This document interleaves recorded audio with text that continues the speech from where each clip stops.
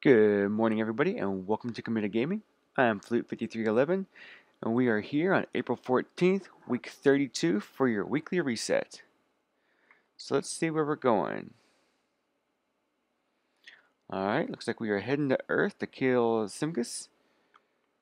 We have Epic, Arc Burn, Light Switch, and Angry. Ugh. So the arc burn, that's going to mean all those slap rifles are going to be godly. The shanks will be godly. And that's just going to be, it's not, I mean, it's not so bad. You can sit down. Um, patience and time, does a lot of work. Um, so that's a good recommendation. Also, we have a Fang of Ir Yût.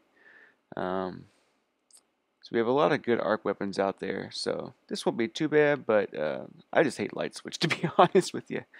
Alright, let's see here. And our weekly heroic is Light Switch. So there you have it. Um, remember today, uh, patch 1.1.2 is going live sometime this morning, so we'll have that coming.